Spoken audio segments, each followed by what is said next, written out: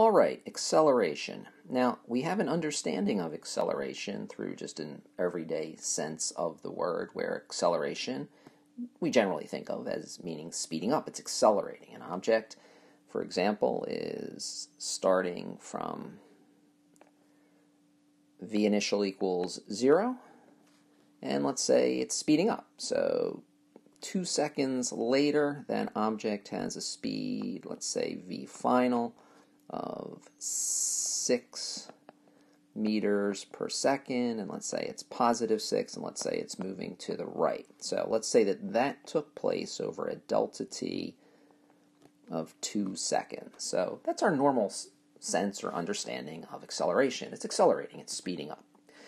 Well, we're going to see that acceleration, in terms of a mathematical definition and its application in physics, is a little bit more to it than that, though that is still part of our understanding and will continue to be our understanding of acceleration. So let's take a look at our mathematical definition.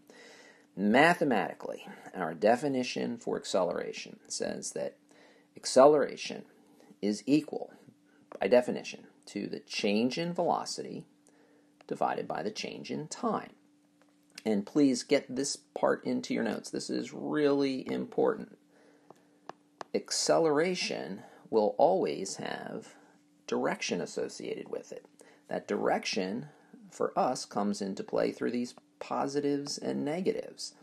So for V initial and V final, we have to make sure we get whether the object was initially or finally going forward or backwards. So if it's going forward, like it was in my little example here, we put in the plus 6. If it were going backwards, we would have put in minus 6.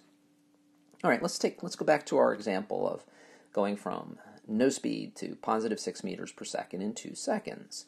Well, our v initial was 0.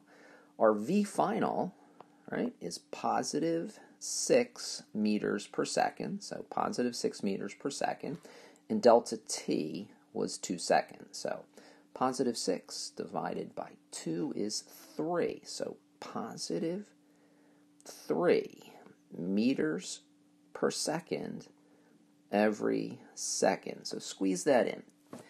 That's going to turn out to be very important in terms of our understanding conceptually of acceleration at meters per second every second. So that will be, as it says down here, so kind of you can skip around a little bit, get this into your notes. We're going to use meters per second every second to think about acceleration. And then, as you can see here, we have a shorthand notation when we present our answers to say meters per second squared. Second squared has no physical meaning. Time squared has no physical meaning regardless of whether we are studying intro physics or physics at the collegiate level or graduate or postgraduate level. Time squared has no meaning, just seconds. So, three meters per second is saying three meters per second every second is saying that after one second it went from zero to 3 meters per second, and after another second, it then went to 6 meters per second. Now, this is our normal case of speeding up. So we're going to see in a, in a moment that acceleration in this direction, directional aspect to it is very important. So let's get to that directional aspect of acceleration. So here we had positive 3 meters per second squared, or positive 3 meters per second every second.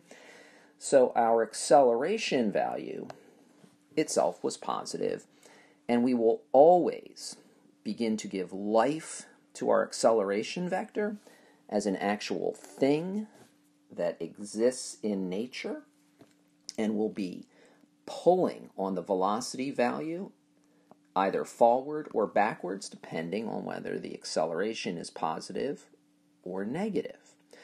So let's see how this will affect how we're going to think about acceleration and um, also about deceleration. Now, deceleration, as we know, means slowing down, but that will come about because of these a values being positive or negative and looking at the specifics for the problem that we're considering.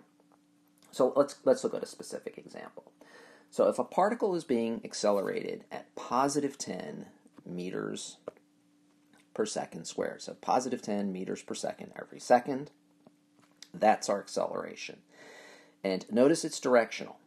That positive means it's being, that velocity value is being pulled in the positive x direction 10 meters per second every second. So in this example, if the particle started with an initial speed of plus 15, so plus 15 is our v initial, and notice we put in plus 15. So the minus sign, final minus initial, the minus there is based on the delta, the change in. So the minus is there as part of our delta, plus 15, and we're told in this example it's going to plus 25, so this is just like we talked about, it's speeding up. So after one second, we increased by 10 meters per second, and we see that we were speeding up. Life is good. All right, so let, us get a better feel for this pulling in the positive direction. So it was pulled in the positive direction. It went from 15 to 25 in the positive direction.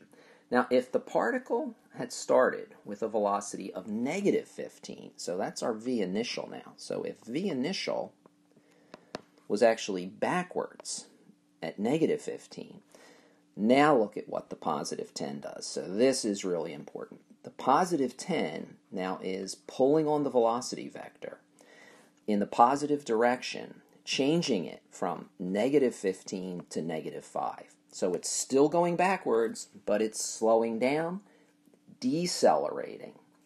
So here you can see where you have to be a little careful in terms of how we handle acceleration. So after one second, the, the, acceleration pulled in the positive direction, slowed it down, it's still going backwards. One second later, now it actually brought it to a stop. So over that one second time interval, it came to a stop, and now it actually reversed direction and is moving at 5 meters per second. That pull forward still is making it increase or change in the positive direction to positive 15, positive 25, and now it's speeding up. So this acceleration of positive 10 in this one example we just looked at meant both deceleration over here, slowing down, and acceleration, speeding up. So we can't look at an acceleration value and just say, oh, it's positive or negative, and immediately say the object was speeding up or slowing down. What we are going to look at, and we'll see more about this in our next page of notes, is we are going to look at how the velocity vector and the acceleration vector, how those directions, those velocity direction and acceleration direction, either go in the same direction, speeding up, or if the velocity and the acceleration go in opposite directions, slowing down. So here, over the four seconds that we are looking at, we went from v initial equals negative 15, so it's final plus 25 minus is part of my delta initial minus 15 divided by the plus 10 meters per second every second consistently said that we changed from negative 15 to positive 25 in 4 seconds. So the application of the mathematics will always work, but we have to be very careful with our positives and negatives.